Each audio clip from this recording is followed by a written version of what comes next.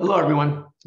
Um, welcome to our first lecture on chapter one. Uh, if you watched the welcome video, as you know, I'm John Lord. I'm your instructor for this class this uh, quarter. So I want to go ahead and uh, go through some of the slides that you've probably already seen for chapter one. And what I'm going to do uh, generally about the middle of the week is post a, a lecture talking about the slides and then go through some example practice midterm questions. So you get a feel as to how I'll be testing you on some of this material and see how what we're discussing in class will actually link up uh, to our um, discussions um, in class will link up to actual questions on our midterms.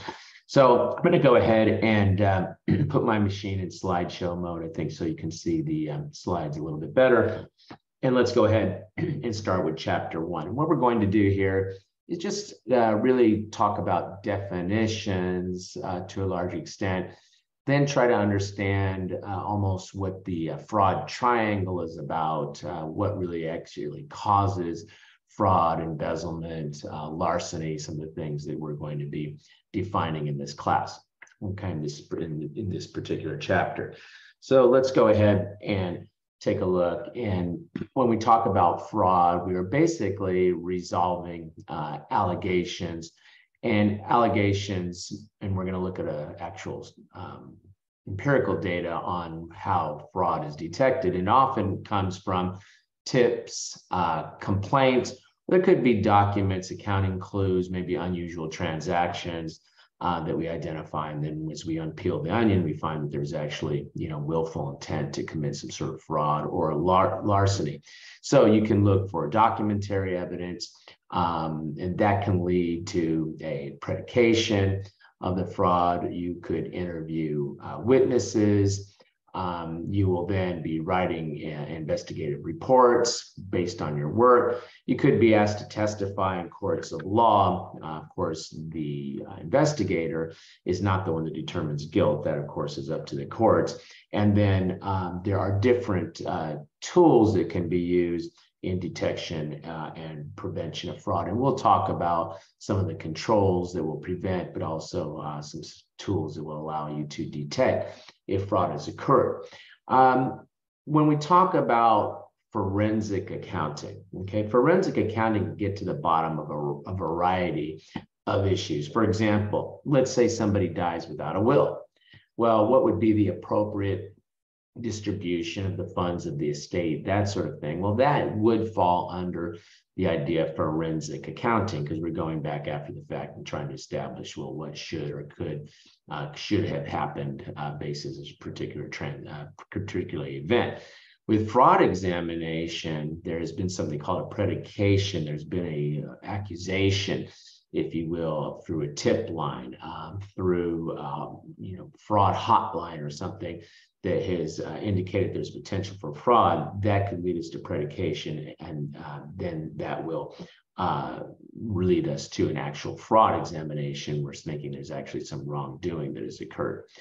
Now, uh, some of you may have studied uh, auditing already. Uh, some of you may be in my auditing class here uh, this quarter as well. But uh, just looking at this uh, differences in you know comparison between auditing and fraud examination. And audit, as you probably know, is something that's recurring. Okay, it happens annually. Uh, public companies, in order to be listed on the stock exchange, have to have an audit every year.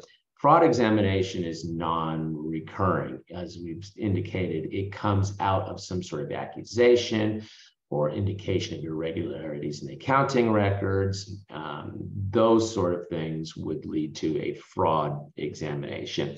Uh, the scope for an audit is um, more general. It's generally, for example, in the case of financial statement audit, looking to see if there are misstatements in those financial statements. Now, when we do an audit, we do consider the potential that the misstatement was by error, which is an accident, or by fraud. And fraud is defined by an error that fraud has intent. You meant to put the false statement in the financial statements. Okay, so even though we look for misstatements, both caused by error or fraud in an audit, um, it is more general as to the overall financial statements. Whereas fraud examination would be more specific. Uh, we believe that an employee has committed some sort of larceny, some sort of theft, um, they've misused their position, whatever it is, and then we go after to determine uh, if that has actually specific thing has occurred.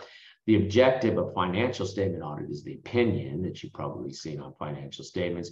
Whereas in a fraud examination, we're trying to fix blame. Who stole this property, uh, committed in, in, in, some sort of um, larceny?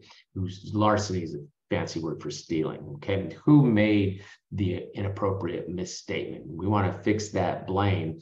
And so we are often in an adversarial mode, whereas in an audit, we not, may not be seen as adversarial. Um, sometimes people don't like auditors, but really the auditors are just trying to gain the evidence they need to support the opinion, and they may suggest friendly adjustments to the financial statements to correct, say, errors that had happened. Whereas fraud, you know, were more adversarial because there could obviously be civil and criminal penalties associated with the identification of the fraud. Um, the methodology, there are specific audit techniques, and there are some overlap to those. But as we move through the course, we'll be talking about specific fraud examination techniques as we go through. Uh, presumption, professional skepticism.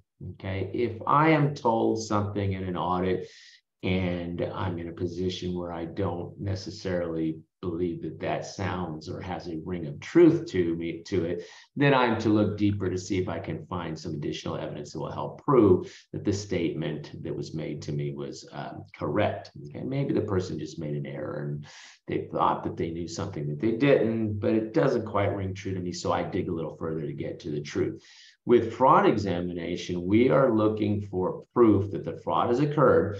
Now, we don't end up determining the guilt of the individual, but we will then provide whatever our findings are, our evidence are to the courts. Courts, obviously, are the ones that eventually ultimately determine guilt. Predications, I've mentioned that word a couple times again, and it's the totality of circumstances that would lead a reasonably trained professional to believe that fraud has occurred. Um, and it doesn't mean that we now are to a point where we're writing a report or not. It is asking us, should we go into the next steps of our fraud investigation? We'll talk about some of those. So predication is at a very high level. It could be a simple hotline call that we are going to investigate and see if there's any uh, merits behind whatever the fraud hotline call came in, whistleblower uh, accusations, whatever they are. Okay. And so the fraud examination, as I stated, is going to be based on this predication. Now, once we uh, have determined there's a process that we go through, through, we will look at any available data. Data can come in both documentary, it can come from observations, it can come in the form of um, oral testimony. Okay, as we start to interview people who may be uh, have been witnesses to what has been going on.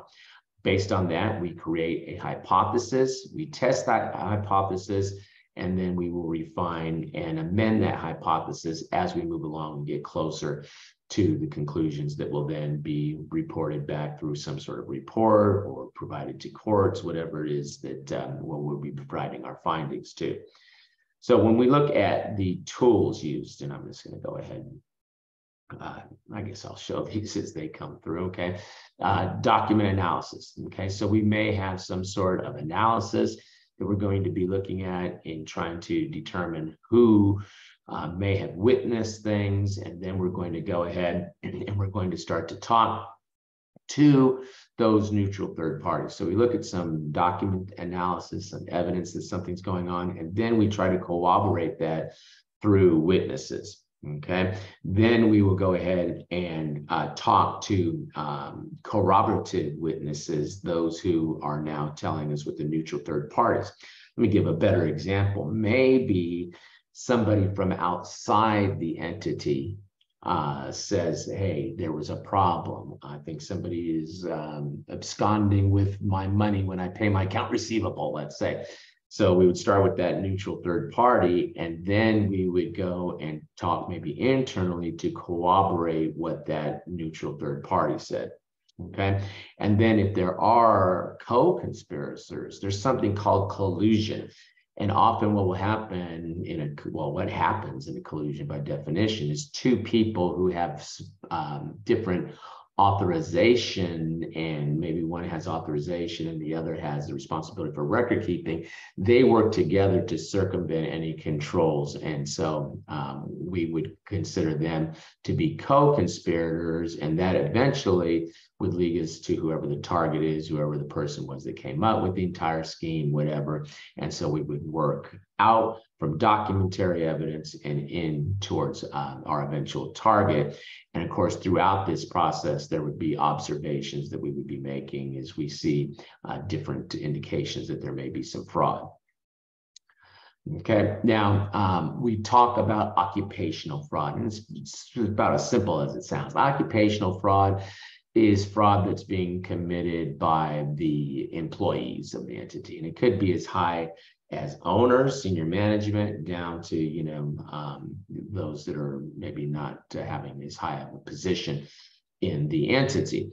Um, one thing that isn't so much talked about in occupational fraud here is the idea that customers can commit fraud, obviously, by stealing, or I guess we call that embezzlement technically, um, when someone is stealing. So that can happen.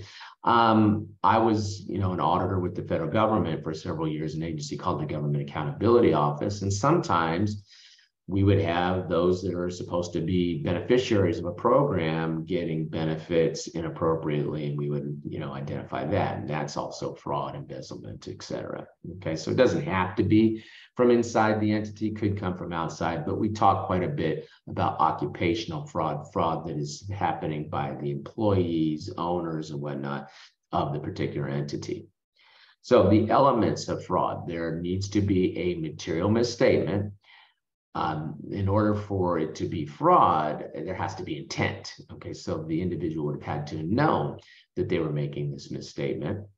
Uh, the reliance of the victim, maybe the company or whoever's making the decision um, um, on that false statement, and then damages uh, resulting. These would be the elements of fraud because of reliance on the uh, false statement. And when we look at fraud versus larceny, okay, now it's uh, when we talk about fraud, we talk about um, you know, inappropriate statement, misstatement in the financial statements, intentional misstatement would be considered fraud, right? But then there's stealing, and we use a fancy word for stealing, and we call that larceny. Okay. And so just a technical definition, right? Taking somebody's property without the consent of the owner and with the intent to deprive, very legal, you know, theory kind of terms here. It's stealing. And I think we all know what that is. Now, embezzlement is a little bit different. It's the willfully taking or converting for one's own use another's money, property for which the wrongdoer acquired possession lawfully. So now what? Now I'm an employee of the company. I have lawful access to the cash. I'm a cashier, but then what do I do? I embezzle it, I steal it, I use my position to then go ahead and steal that cash, whatever it is. Okay. Conversion is a little bit different. It's an unauthorized assumption and exercise of the right of ownership over goods. So I allow you to use my software license, even though I was only supposed to install on my computer. I figure out a way of allowing you to also download and have the use of my software via the cloud, whatever it is. And, um, you know, I have now converted that right that I had to allow you to do that. That would be considered conversion. Uh, another example of embezzlement, um, going back a little bit here. Uh, let's say I need some help maintaining my records. Let's say I'm getting a little older and I'm not as good with, you know, handling my banking records and stuff. So I give you access to my bank account. And then you go in and instead of helping me to pay my bills, you cut yourself a check for, you know, $10,000 or something. That also would be embezzlement. You had acquired possession lawfully because I gave you access, but you did not use it appropriately. You willfully converted it to your own use. Okay, so just some terms there. Fraud, they're talking about it more in terms of misstatements, whereas larceny stealing, embezzlement is, hey, I gave you access to property and then you stole it. Conversion is letting somebody use the right that you have. And the best example there is, a, you know, a license to use something and then I go ahead and I give it to you, even though I was supposed to be the one that was supposed to have the right to use that. Fraud triangle. Um, and so when fraud occurs, okay, what we typically see are these three particular things, which is incentive and pressure. And we're going to use another term for incentive and pressure. Incentive pressure is the reason to commit the fraud. Wow. If I don't um, show a good third quarter revenue, I'm going to get fired. That's pressure and incentive. If I show nice revenue, I'm going to get a bigger bonus, right? Uh, but you could also call this um, an unshareable financial risk in that I have to, you know, compete um, embezzlement and steal money because if I don't, I'm not going to be able to pay my rent. Okay. So um, that would be equivalent. Sometimes we'll call it an, a non-shareable financial risk. It's the reason, okay, to go ahead and commit the fraud. Okay. Now, uh, rationalization is saying, hey, I deserve this thing that I'm stealing. You know, so and so got a big bonus. I got left out of the bonus. So I'm going to steal $10,000 to make up for that. That's rationalization. Opportunity is really poor internal control. So what happens? Even in an audit, we are required to look at certain risks that affect our audit risk and assess those risks and see if they are uh, leading to some sort of potential for fraud. And so that risk opportunity really is looking at internal controls and seeing if there's a problem with those internal controls that could lead to some sort of embezzlement, fraud, et cetera. Um, I was on an assignment when I was looking at the Department of Veteran Affairs some years back, in which the uh, Veteran Affairs Department would look to see how much money pension, uh, how much pension, how much in pension benefits uh, veterans were getting, because um, if they also received Social Security, their Social Security would be reduced by any pension benefits they what uh, the veteran Department of Veteran Affairs would do is they would look to see uh, the so they would bounce the pension records, payment records against the Social Security payment records, and if they got a match, they would pull back the benefits accordingly. They didn't do the same thing with their compensation benefits. Compensation benefits are um, if an individual loses a limb or something in the war, the government will pay them so much per year for the rest of their life, um, regardless of how much money they make, because that's compensating them for the irreplaceable, you know, situation, of the loss of a leg. Uh, well, the benefits do not continue after someone dies. It turns out that um, the federal government gets all death information from counties and it gets that information through Social Security. Well, by not bouncing those compensation records against the Social Security, and the VA's rationale was not this rationalization, but their you know theory was that we don't have to do that because it doesn't matter how much money the person made. But my question was, well, what if the person dies? The benefit should stop. So shouldn't you also bounce those um, compensation records against the Social Security records as well. So I asked and went and asked, seeing that opportunity was there, I went and asked and I said, hey, can I please have the records of individuals that were uh, receiving benefits after they died? Their family was receiving the benefits after they died. And the VA just handed those to me because it sounded, as I did the interviewing technique, that I knew that the records already existed. The reason I was able to take that approach is opportunity was there. In my opinion, opportunity is the biggest reason that you will see some sort of fraud. And that if you leave the door open, it's only human nature that eventually someone's going to you know, walk through that door and you're going to have fraud um, or um, you know, theft, whatever it is that we're um, talking about here is the different things, embezzlement and so on. Okay, okay, so you typically see those, and um, we have uh, some of the fraud triangle discussion that you saw there, but there's uh, similar studies that are done.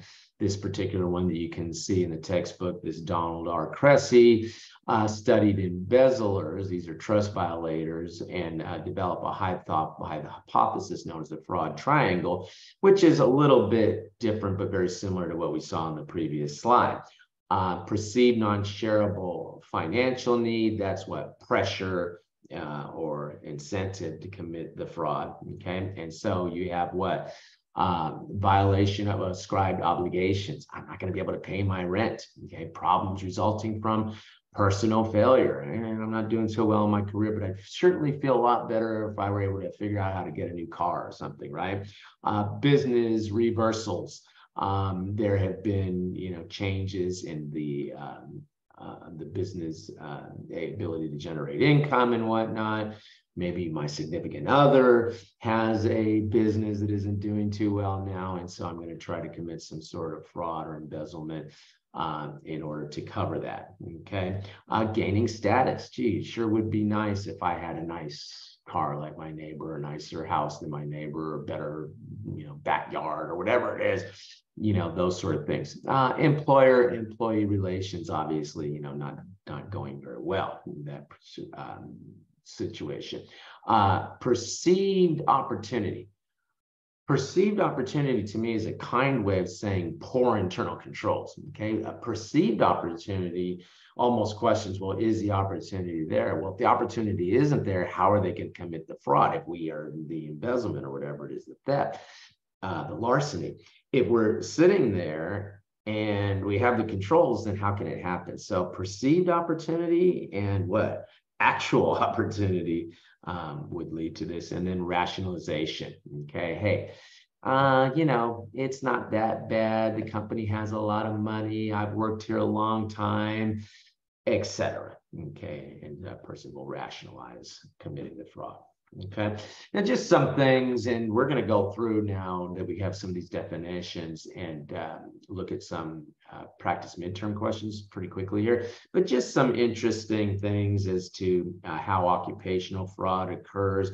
Generally, it is the employees, but you can see, um, you know, 41.6% of the time it's the employees. But you can see that what often it goes as high as managers and even executives of the company.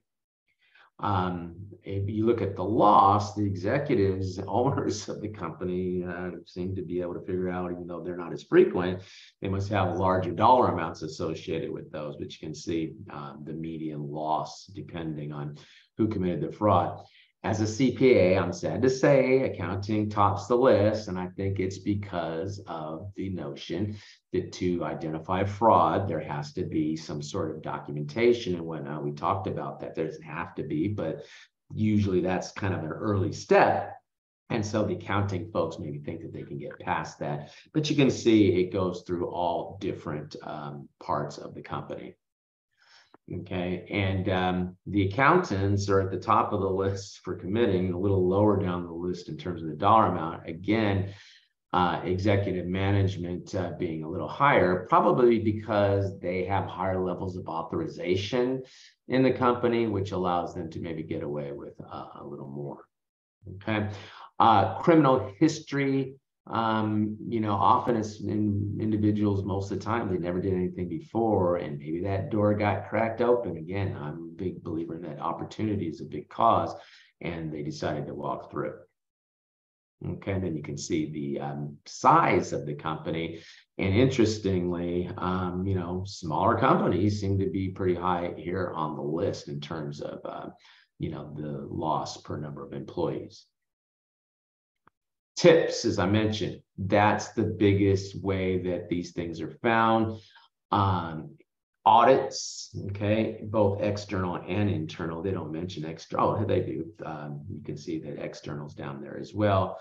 Um, notified by police. Uh, sometimes um, there will be a situation. I've heard of stories where uh, there have been overseas wires that have been being uh, were being issued, and the company thought that it was actually a legitimate transaction, but it was one of these, you know, dear so and so, I'm out of the country, and so wire me, you know, five hundred thousand dollars. And what happens is, if they get away with it the first time, they do it again. And so the FBI came into the company and said, Why are you sending all this money overseas? And they said, We're not. And they said, Yes, you are. And that's how it was found uh, by, you know, maybe monitoring from the police, et cetera. Okay. So you can see these uh, different ways that uh, fraud is often detected, but tips, hotlines being an important. Okay. Now, when we look at um, different types of fraud, asset misappropriation, such as cash, inventory. Uh, obviously, if we're stealing cash and whatnot, that's, you know, um, that's what we call it larceny, theft, fraud. Um, but it doesn't necessarily have to be stealing. It could be abuse. So what happens? Um, I have access to the company's fleet of cars uh, and in the weekends, I, you know, drive one of the cars off the lot and, you know, drive around and go all kinds of different places and, you know, abuse. That's abuse. I abuse the asset. Okay. And, and that happens quite a bit. Um, and then we could be, you know, stealing inventory, et cetera. You can see uh, fraudulent financial statements. Um, obviously, there can be fraudulent numbers in the financial statements. But then there could be fraudulent non-financial. In other words, we make statements in our footnotes, in our management discussion analysis that are fraudulent, misleading. Okay. Uh, corruption, conflicts of interest. Uh, if I am aware, I have insider information, I'm not supposed to trade on that. Bribery, uh, illegal gratuities, um, economic extortion, all of these things um, would be considered corruption. Okay, and then uh, fraud and abuse, um, asset misappropriation. Okay, we mentioned corruption and fraudulent financial statements. Uh, and again, occupational fraud, that's fraud that's being committed inside. It could also be those outside committing the fraud, as we mentioned. Okay, so that gives us a nice set of definitions. So what I want to do now is go over the practice midterm with you so you can see how we're going to be testing on this kind of material when once we get to our midterms and stuff. Okay, so you can see this first question. Once sufficient predication has been established, once we've determined, hey, there's reasonable cause to believe that there's fraud here. We call that predication. What is the first step a fraud examiner follows um, following the fraud theory approach, what are the uh, first step we should take? And what we saw on that chart, as you can see here is the correct answer. We will do what? We will analyze data. We will go ahead and what? Interview the witnesses. And then we will uh, eventually get to the target, whoever the suspect is. And creating a hypothesis is basically something that is done in the stage of the predication, not after the predication. Okay, number two, in order to prove that fraud occurred, four elements must be present. Which of the following is not one of those um, uh, elements? And intent to cause uh, the victim damages. So if somebody's putting something fraudulently in the financial statements, they may be just hoping, okay, well, this will make us look good and we'll attract additional capital, and then the company will grow and everything will be fine. We just need to get the capital in there, and then it doesn't work out and people suffer losses. Well, that may not have been the intent, but material false statement, knowledge that the statement was false, yeah, intent we meant to do it right and then reliance on the uh, false statement by the victim. Yeah um, we don't necessarily have to want to cause harm but often what happens when this stuff happens when there's fraud people are harmed and that's when you know we start to have to go through courts and that sort of thing. Uh, which of the following is not one of the legs of the uh, fraud triangle? Perceived non-shareable uh, financial need. Again, um, that could also be called pressure, right? Um, perceived opportunity, rationalization, uh, situational environment. You know, this is sort of something that they're making up here because uh, they have to have a multiple choice question. The other three, the takeaway from this question, the other three are clearly part of the fraud triangle. Okay, let's look at um, a couple of you know sort of uh, you know fictitious names and stuff here. And it says when Jill Michaels, an assistant to the director of procurement, moved into her new home, uh, she used the company's flatbed truck to move her furnishings on an afternoon when her boss was out of town. What is this? Well, this is abuse. Wasn't larceny. They didn't steal it. It wasn't embezzlement because, again, it didn't involve her actually taking something and depriving the owner of the use of that, right? Uh, it was simply borrowing it, but inappropriately borrowing it. So that's an abuse. And fraud you know, fraud and larceny, you know, one is what? One is lying, fraud, the other larceny is stealing. Okay. And so um, they wouldn't really fit so much with that uh, as fraud as it is, is abuse.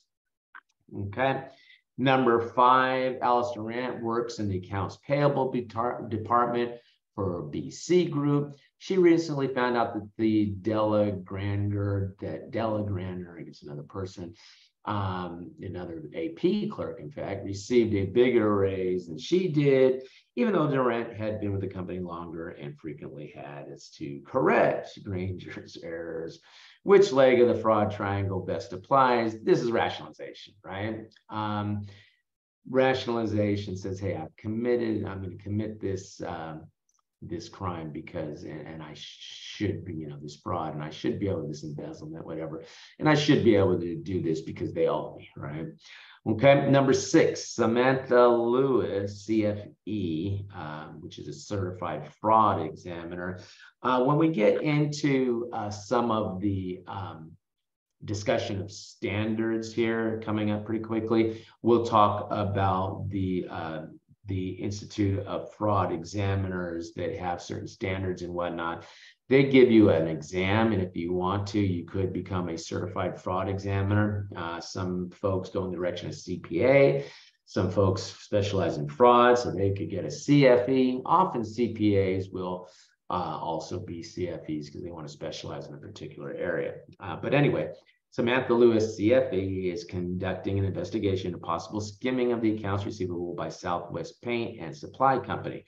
If Lewis plans to interview all the following parties, whom would they interview first? And remember, we said what? We had that part where it's sort of, um, you know, third party observers, right? And so Sean Miles, a regular customer of the company, whose complaint about his account balance problem uh, promoted, uh, prompted the investigation. That's those third party individuals. And then we would work in from there until we finally get to whoever the target is. Number seven, Richard Moore is the controller of Ajax Company. Recently, he suffered several large losses at the racetrack, causing to uh, incur enormous personal debts. Which type of non-shareable financial problem best describes Richard's situation? And this is what violation of ascribed obligations. It's not going to be able to pay his bills. Okay, essentially is what's going on here.